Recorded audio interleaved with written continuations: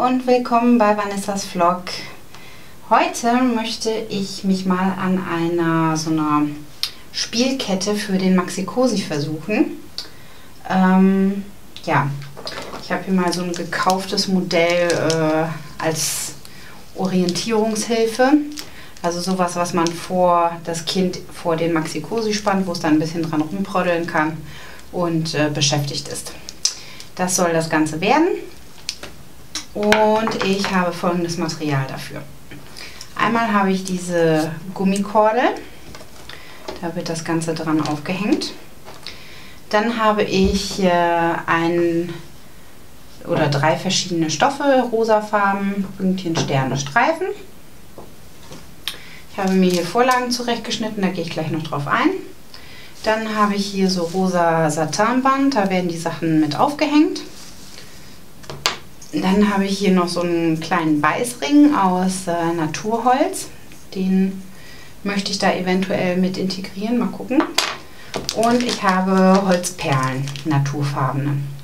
Also das Farbkonzept ist rosa Naturfarben. Mal gucken, wie das später aussieht.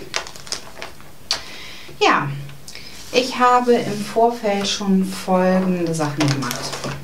Und zwar habe ich mir drei verschiedene Vorlagen, drei verschiedene äh, Schablonen zurecht gemalt. Und zwar habe ich für diese Schablonen ähm, so Ausstechförmchen für, für Plätzchen genommen. So für Kinder diese Plastikdinger, ganz einfache. Und habe mir die aufgezeichnet und habe dann die Umrandung noch um einen Zentimeter erweitert für meine Nahtzugabe. Und jetzt habe ich hier Teddy, Herzchen, Stern. Und diese drei Schablonen habe ich auch schon ausgeschnitten aus dem Stoff. Also einmal hier den Streifenstoff für das Herz. Und äh, in das Herz kommt Knisterfolie, damit das Ganze ein bisschen interessanter wird. Dann habe ich aus dem Sternchenstoff den Stern zugeschnitten. Der wird ein bisschen gepolstert mit Füllwatte und dann kommt da so ein Klimperteil rein. Und aus dem Pünktchenstoff habe ich den Teddy ausgeschnitten. Sieht jetzt bei dem Stoff noch ein bisschen unspektakulär aus. Ich hoffe, wenn das genäht ist, sieht es besser aus. Und äh, bei dem Teddy werde ich so äh, Perlen in die Händchen und Füßchen äh, reinstecken und den Rest dann auch mit Füllwatte so ein bisschen ausstopfen, dass da auch was anderes zu erfüllen ist. Ja, so ist der Plan. Die Schablonen kann ich euch gerne äh, scannen und zur Verfügung stellen, aber ihr könnt das natürlich auch selber machen mit allen möglichen Formen oder ihr denkt euch selber was aus. Also das war jetzt so meine Vorgehensweise, aber da gibt es ja tausend Möglichkeiten. Vielleicht habt ihr andere Vorlagen oder Schablonen oder möchtet andere Tierchen oder was auch immer. Also das muss ja nicht sein, aber ich stelle es euch gerne zur Verfügung. Also ich habe mir jetzt schon mal folgende Teile vorbereitet. Und zwar habe ich mir meine Schablonen jeweils in doppelter Stofflage zugeschnitten, also jeweils zwei Stück. Und dann habe ich mir hier, wie gesagt, diese vorhandene Maxi-Cosi-Kette mal genommen und äh, habe die mal ausgemessen, damit ich da maßlich irgendwie einen Anhaltspunkt habe, dass das hinterher vernünftig aussieht. Und zwar hat die so 42 cm in der Länge und dann noch jeweils ungefähr 5 cm für die Schlaufen. Und dann lasse ich noch so ungefähr 10 cm äh, Spielraum. Ein bisschen mehr sogar noch. Einmal für den Knoten an den Seiten. Und ähm, wenn man später die Perlen auffädelt, dann gehe ich davon aus, dass, der, dass das Ende immer ein bisschen ausfranst und dass man da nochmal nachschneiden muss. Deswegen ähm, lasse ich da noch ein paar Zentimeter dran. Also habe ich die Kordel insgesamt 65 Zentimeter lang zugeschnitten. So, die brauchen wir später. Und meine Anhänger, die müssen natürlich auch aufgehängt werden, dann mit dem Satanband hier. Da habe ich drei Stücke A 15 cm zugeschnitten. Die werden in den Anhänger eingenäht und dann später um, das, äh, um die Gummikordel geknotet. Und äh, ja, drei Stück A 15 cm. Das alte Ding kann weg. So, ich nähe jetzt erstmal die Anhänger zusammen. Ich zeige euch das mal anhand des Sternchens. Und zwar liegt ihr die beiden Teile rechts auf rechts zusammen, näht das so zusammen. Und ähm, das Bändchen für den Anhänger legt ihr zwischen die Stoffschichten. Und ich mache das so, die geschlossene Seite wird eingenäht und die offene Seite nehme ich dann später zum Zusammenknoten an, dem, an der Gummikordel. Also ich lege das Bändchen mit der geschlossenen Seite in eine Ecke von dem Sternchen und da wird das dann halt mit der äh, Naht beim Zusammennähen festgenäht. Und wenn man die Stoffe dann später wendet, ist das Bändchen außen. So, das legen wir einmal fest. Und dann nähe ich das Sternchen jetzt halt mit dem 1 cm Nahtzugabe zusammen. Ihr müsst dabei nur darauf achten, dass ihr euch nicht aus Versehen das Bändchen hier innerhalb des Sternchens irgendwo festnäht. Und dran denken, eine Wendeöffnung zu lassen. Irgendwo. So, mein Sternchen ist fertig zusammengenäht. Hier ist meine Wendeöffnung. Ich wende das Ganze jetzt einmal. Kommt das Bändchen nach außen. Achso, bevor ihr wendet, könnt ihr bei den Sternchenspitzen die Ecken abschneiden.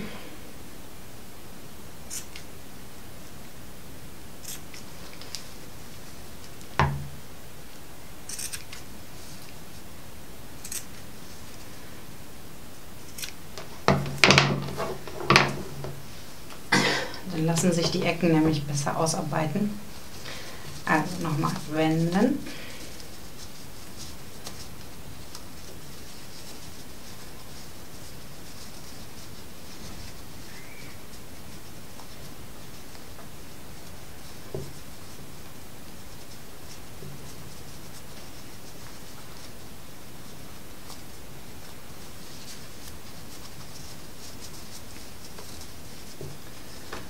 So, und jetzt geht ihr mit der Schere oder mit dem Stift oder irgendwas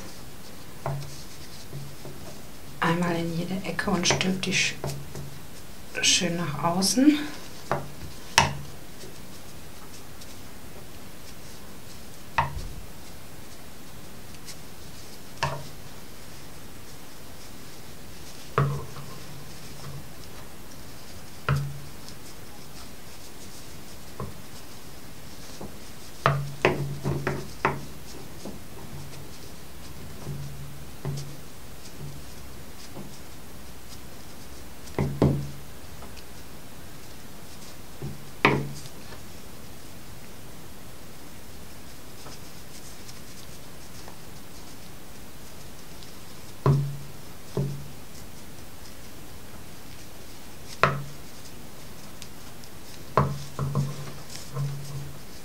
So. Und dann wird das Sternchen mit Füllwatte gefüllt. Ihr füllt das ungefähr so bis zur Hälfte. Und dann wollte ich in das Sternchen ja diesen äh, Klangkörper einnähen. Also ich fülle das hier oben, dass hier oben die Zacken gefüllt sind. Dann lege ich den Klangkörper an und dann fülle ich den Rest, sodass der Klangkörper schön mit Füllwatte umschlossen ist und äh, nichts verrutschen kann. Und wenn ich das gefüllt habe, dann schließe ich hier unten die Wendeöffnung. So, mein Herzchen habe ich auch schon mal fertig genäht. Und zwar habe ich das folgendermaßen gemacht.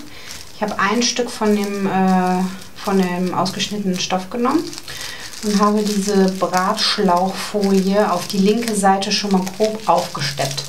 Also mit einer großen Stichlänge, Stichlänge 4 oder so. Einfach innerhalb der Nahtzugabe schon mal grob an dieses Stück festgenäht. Wenn man dann die beiden Seiten aufeinander legt und festnäht, dann ist der Bratschlauch schon mal fest und man braucht sich da keinen Kopf mehr drum machen. Also den Bratschlauch schon mal grob festgenäht, dann die beiden Stoffhälften wieder rechts auf rechts aufeinander und das Bändchen zwischen die beiden Stoffschichten gelegt, sodass es innenliegend ist. So, zusammengenäht ist es. Jetzt wenden wir das Ganze.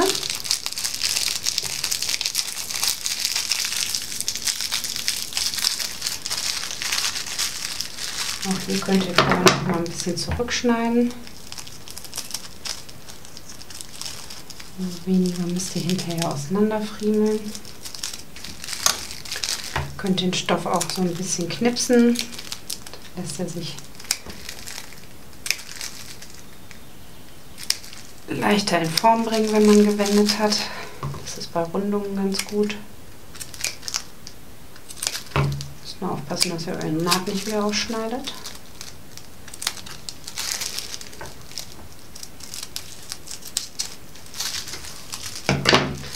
So. Bitte wenden.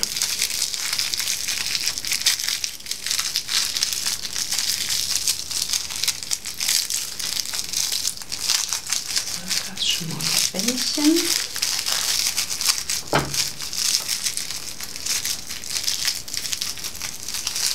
Hier müsst ihr jetzt auch wieder mit dem Finger oder mit einer Schere oder was auch immer die Form gut ausarbeiten.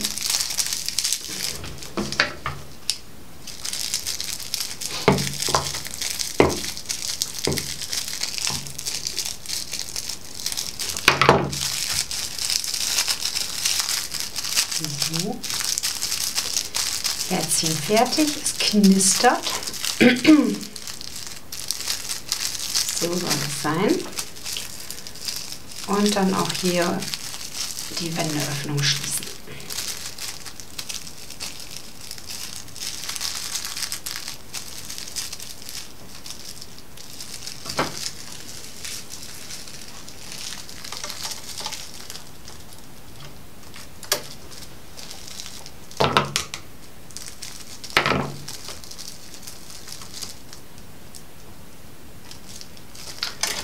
das hier jetzt einmal knappkantig mit der Maschine. Bei so einem geraden Stück und bei so einem glatten Stück ist das kein Problem.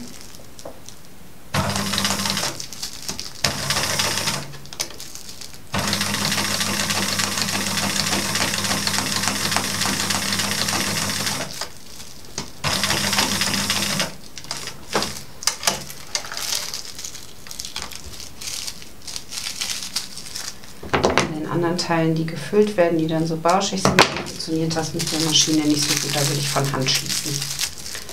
So, Herzchen fertig.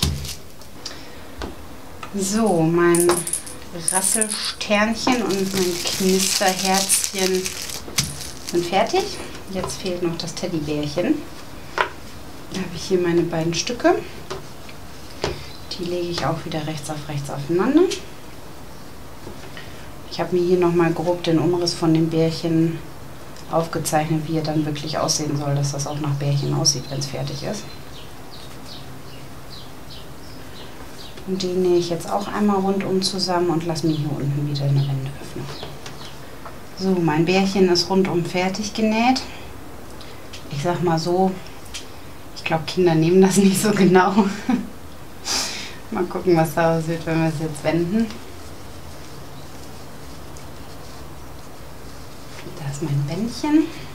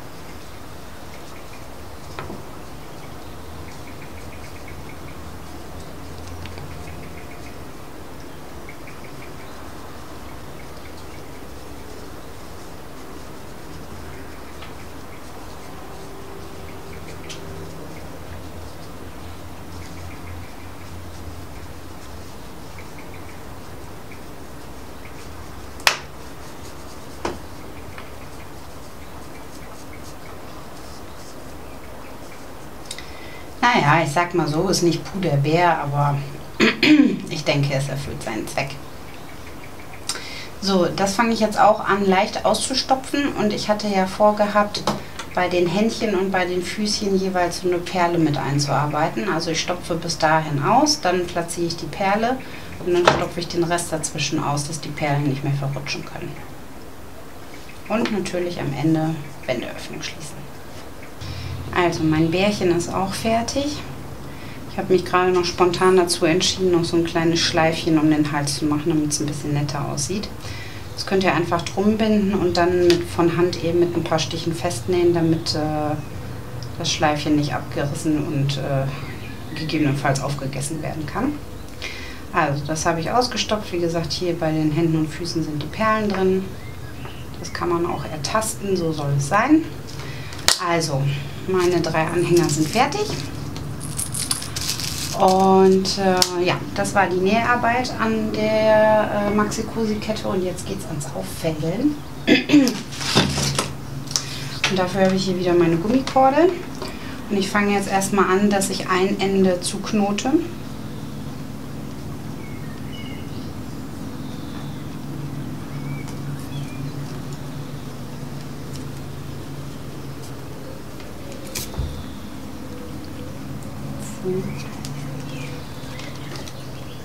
Schön festziehen den Knoten.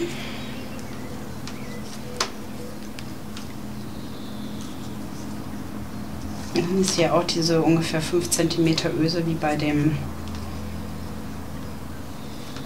äh, Stück, was ich vorhin zum Ausmessen hatte. Dann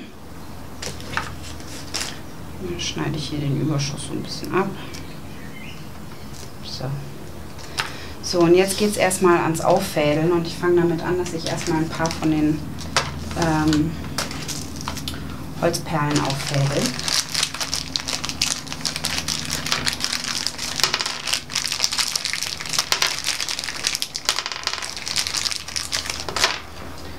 Wie das so richtig am Ende aussehen soll, weiß ich ehrlich gesagt noch gar nicht. Das entscheide ich jetzt spontan beim Auffädeln. So, und das ist jetzt ein bisschen Friemelarbeit, weil die Löcher der Perlen sehr klein sind oder die Gummikordel sehr dick ist, wie auch immer. Also ich habe es vorher getestet, es geht so gerade eben. Aber es bedarf ein wenig Geduld und Gewalt.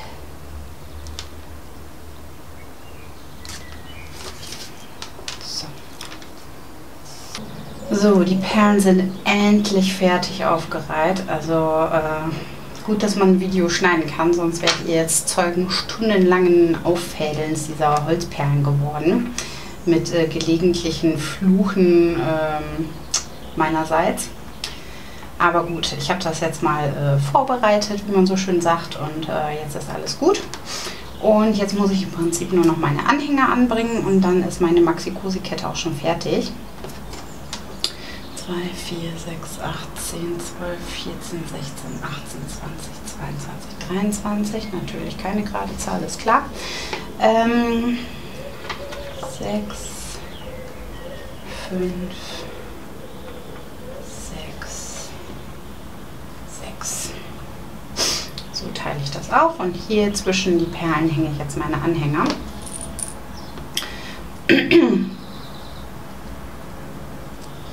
Dann mache ich jetzt oben ein kleines Knötchen rein in das Bändchen.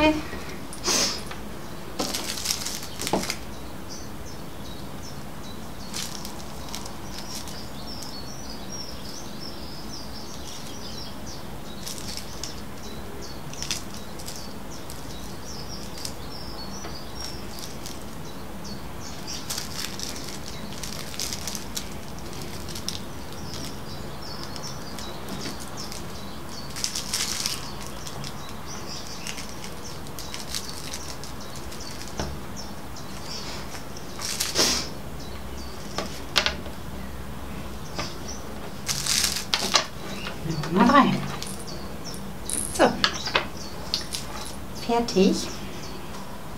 Ich zeige euch gleich noch, wie es aussieht an einem Maxi-Cosi angebracht.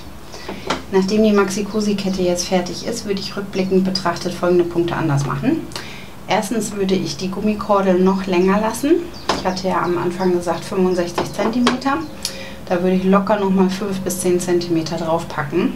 Ich meine, sie passt so jetzt, werdet ihr auch gleich sehen. Aber damit man einfach mehr Spielraum hat, vielleicht, dass die Kette auch noch ein bisschen mehr durchhängt, ähm, würde ich die länger lassen, also 70 bis 75 cm. Und hier bei den Anhängern, die Bändchen würde ich auch ein bisschen länger lassen. Da hatte ich gesagt 15 cm. Also da würde ich vielleicht auch noch mal 10 cm drauf packen, damit man vielleicht oben noch ein Schleifchen machen kann. Aber ansonsten passt das. Ach so, bevor ich es vergesse, diese Sache mit dem äh, Beißring mache ich jetzt doch nicht mehr, weil ich mich äh, dazu entschieden habe, dass da jetzt schon genug Gedöns dranhängt. Wenn man da jetzt auch noch irgendeinen Beißring dranhängen würde, äh, wird das Kind vor lauter Krempel überhaupt nichts mehr sehen können. Deswegen Beißring, die Idee äh, setze ich nochmal irgendwie anders um, aber nicht bei der Maxi-Cosi-Kette. So Leute, meine Freestyle Maxi-Cosi-Kette ist fertig. Ähm, ja, mir gefällt ganz gut diese Kombination aus Naturholz und Rosa. Das finde ich ganz schön. Und was ich auch gut finde, sind diese verschiedenen Funktionen, sage ich mal, mit Rassel und Knistern und, und den Perlen zum Erfüllen und so weiter. Wie gesagt, ich würde es vielleicht ein bisschen anders machen vom Maßlichen her, aber ich glaube, Ella kommt an alles dran und man kann die Sachen ja auch so runterziehen. Ähm, also das ist schon okay so. Ja, ich hoffe, das Video hat euch gefallen und ich wünsche euch viel Spaß beim Nachmachen. Und ähm, bei Fragen wie immer gerne und ansonsten abonniert meinen Kanal, wenn ihr es noch nicht gemacht habt und seid beim nächsten Mal wieder mit dabei. Bis dahin, habt eine gute Zeit und bis bald.